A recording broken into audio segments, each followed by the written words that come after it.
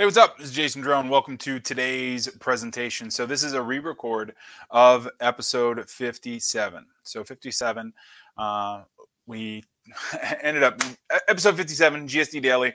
For those of you who don't know who I am, my name is Jason Drohn. I'm creator of doneforyou.com and uh, we specialize in three things. We specialize in creating offers.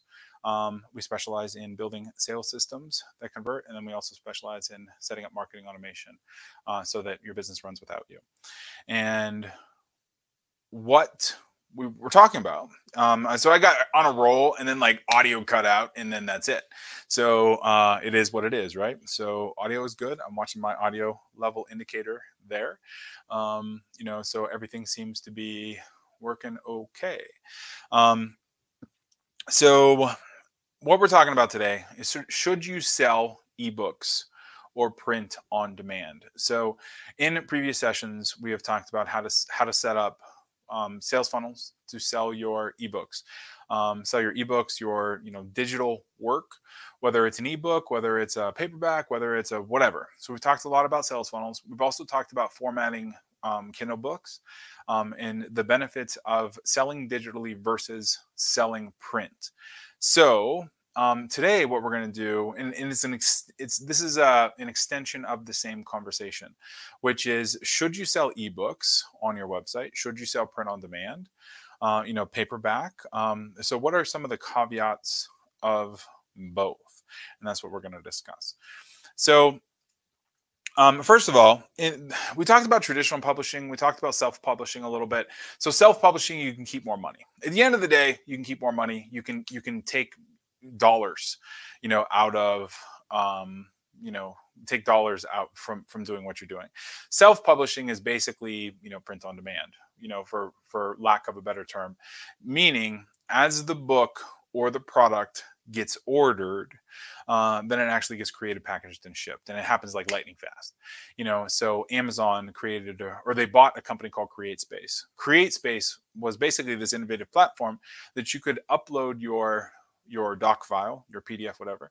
It, they'd format it as a book. They'd send you a proof, and then they would mass distribute it. So they would send it to Barnes and Noble. They'd send it to Amazon. They send it to all the places that you know you wanted to sell your your paperback. And then Amazon had their Kindle digital publishing, which is the way that they and then then they ended up merging them together. So now they're actually the same platform.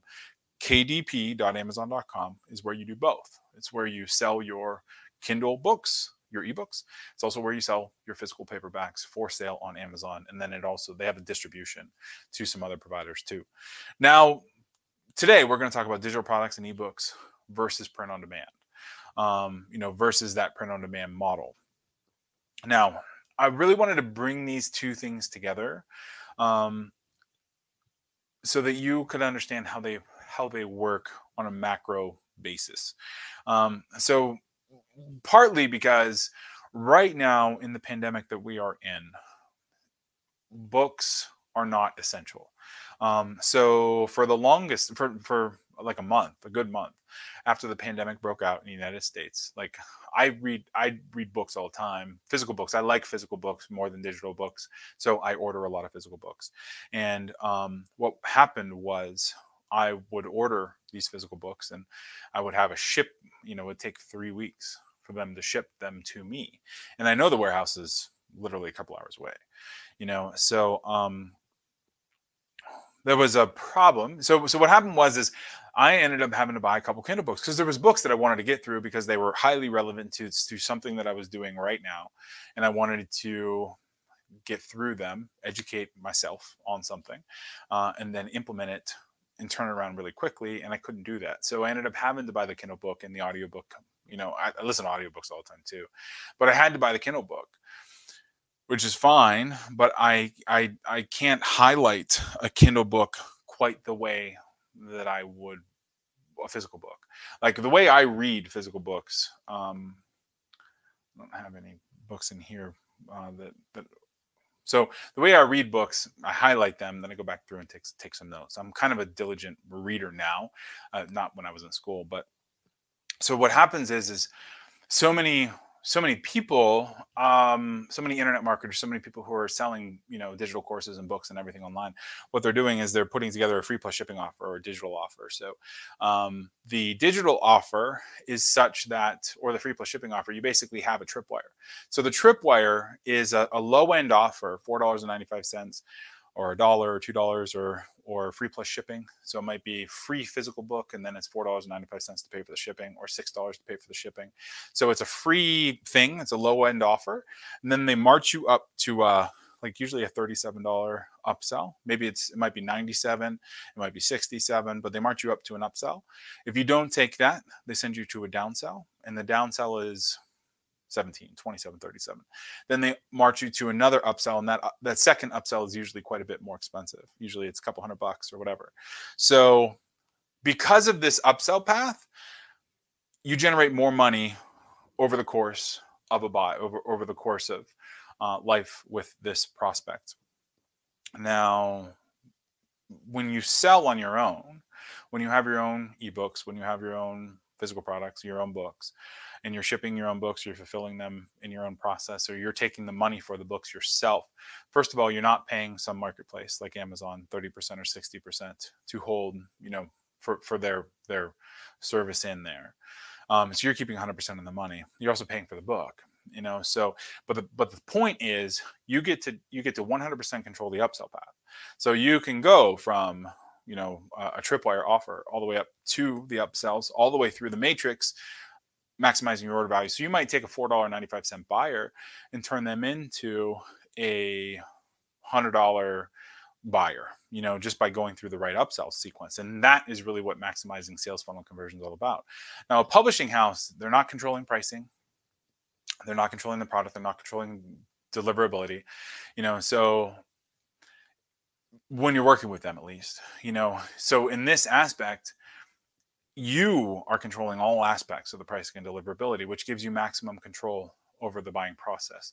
Now, the good parts about ebooks and digital products is you have instant delivery. So you can your your offers are instantly deliverable. You have a higher price point, you know, so you can charge as much as you want for this stuff.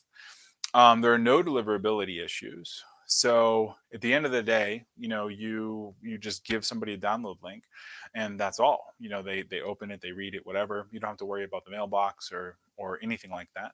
There's no fulfilling fulfillment. There's no printing. There's no warehousing, which is huge. You know, that's what Amazon's thirty or sixty percent.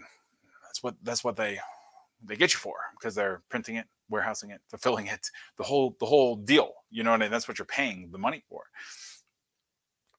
sure you have to take that on but if it's digital you don't. You just you you you set up the the matrix you know and then you just go from there. And you also get higher margins when it's digital too. Now the bad part of ebooks and digital products is possibly there's a little less credibility. So you might not necessarily get the maximum amount of credibility for an ebook because everybody can write an ebook and everybody can throw it up online. Whereas if you have a physical book you know you have credibility that is associated with that physical book you know so that's a big thing you know what i mean? Like that's a that's a, a, a, big benefit of having a physical book is having the credibility. The credibility is transferred because you have this physical book this this manifestation of your work that you're able to sell to them. Now if you don't have a physical book you know if you just have a digital book then you, you can't hand it to somebody. You can't say here you go here's a book. You know um, it's like i'll send you a link and then it's no different than a web page for all intents and purposes. So there might be a little less credibility when you have a, just a purely ebook. You also might have a higher refund rate. Uh, so you know people might not necessarily appreciate the the ebook as much as the physical book. They might not even read it because they don't actually have something physical to crack open and read. So they might consider it, they might send a refund. Um, some people don't and won't understand. And this is less of an issue now than, than it was a while ago.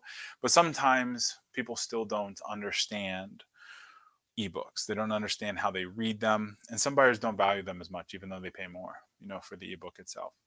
Now, some print on demand stuff. So having a physical book that Amazon prints for you or somebody prints for you, um, you know, and, and you print as the orders come in. So first of all, you only print what you need, which is fantastic. So order comes in, then it is printed, and then it is shipped.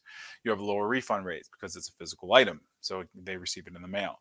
You also have higher customer satisfaction normally when somebody is receiving something in the mail, usually get better conversions, and then people usually like it better um, because it's a physical, tangible item that they have access to. And then there's also higher perceived value because it's a physical book and it's more traditional. So a lot of the credibility that you know is bestowed on authors is now bestowed on you. Now the bad start, the bad side of print on demand, higher costs. I mean, you have to pay for the book to be printed. I actually have a eight and a half by eleven textbook that is being printed now. Um, I'm waiting for the proof copy. I should be getting it in the mail. That eight and a half by 11 text copy is $22 to print. That's just the cost of it.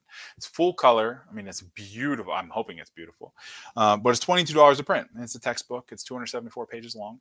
So obviously the, the pricing, the product of the, the, the pricing of that textbook is 99 bucks on Amazon. Um, so higher costs. And even then, I think I only make like 10 bucks per sale because it's cost of printing and then the Amazon shipment, fulfillment, all that other stuff. Uh, and then at the end of the day, I get my 10 bucks. you know what I mean?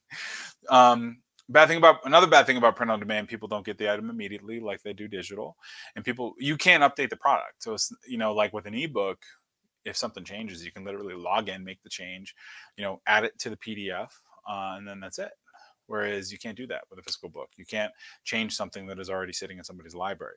They understand that, but that also means that, you know, once they have that thing, the relationship is stopped unless they opt in or do something else, you know, with you.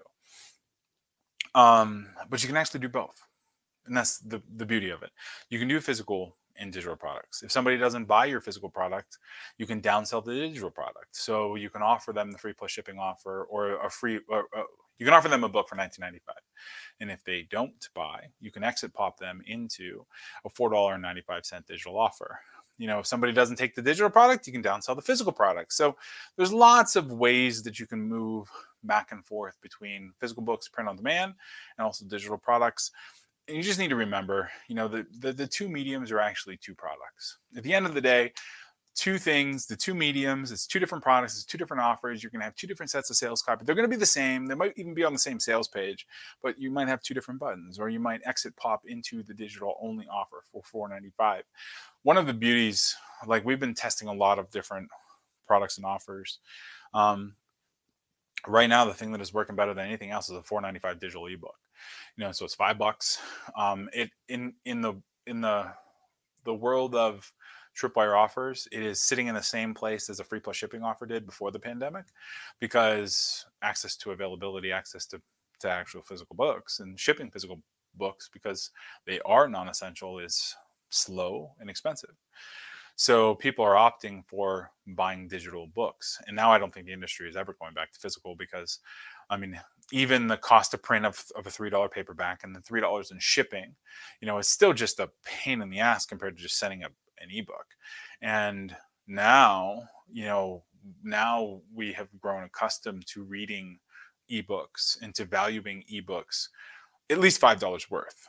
You know what I mean? So um, that's one of the, the beauties of what has happened lately or what is in this digital transformation it's one of the nice things about how how this is all working out so you're going to see a lot more of that in the future um, the digital books and moving away from the physical textbooks um, so with that um, if you have any questions at all, go to doneforyou.com forward slash start, fill out the application.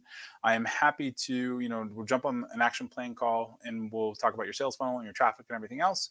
And um, that's it. So, any questions at all, let me know. Go to doneforyou.com, check it out, and I'll talk to you soon. All right. Thanks.